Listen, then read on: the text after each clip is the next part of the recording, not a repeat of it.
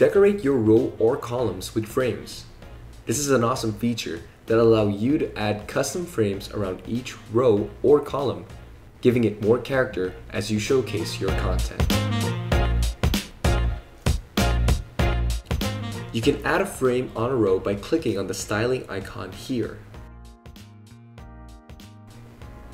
Then, you'll see the frame styling dropdown. Expand it, and you'll see the following options.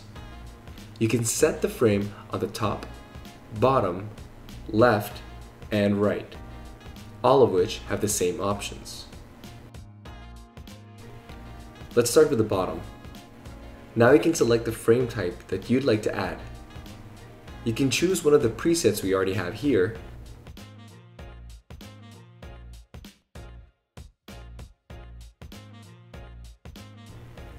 or add your own custom frame. I'll choose a preset. Now that I've selected a preset, I'm going to set the color of the frame. I'm going to set this to white so that it blends well with the next row. Now I can set the width and height. I can choose to set these in pixel, EM, or in percentage. By default, the width is set to 100%.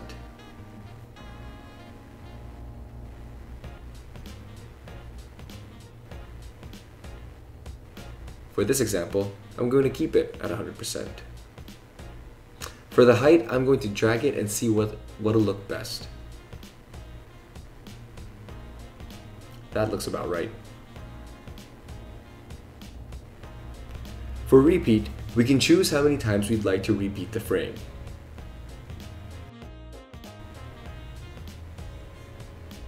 For this example, I'm going to keep it at the default one. Lastly is the option to display below or above content. I'll explain more about this option when I showcase how to use frames on a column.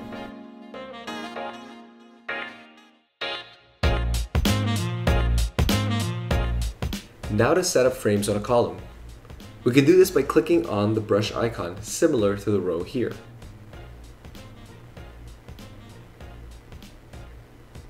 Then on the frame dropdown, we'll see the exact same options as what we saw on the row. But the key difference is that the frame will only appear inside the column. So I'm going to add some frames for this new column.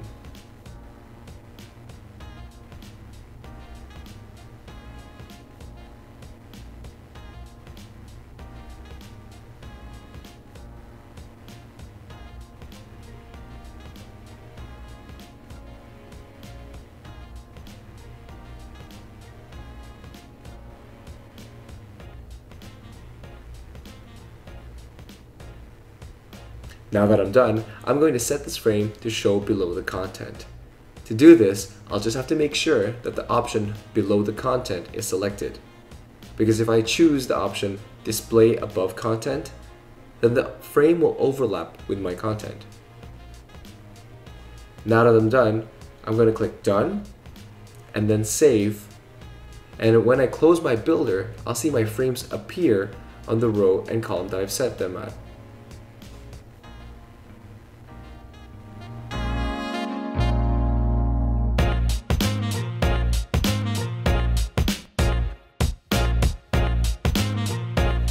The cool thing about using the builder is its responsive styling feature and how we can use it when styling our frames.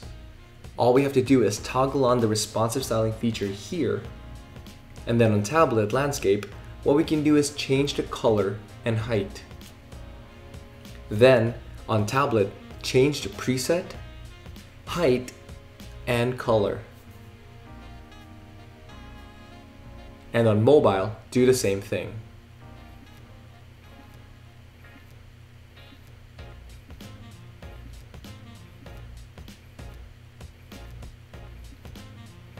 Now, when I drag and change the view back to tablet, tablet landscape, and desktop, we'll see all the changes I made are saved and applied.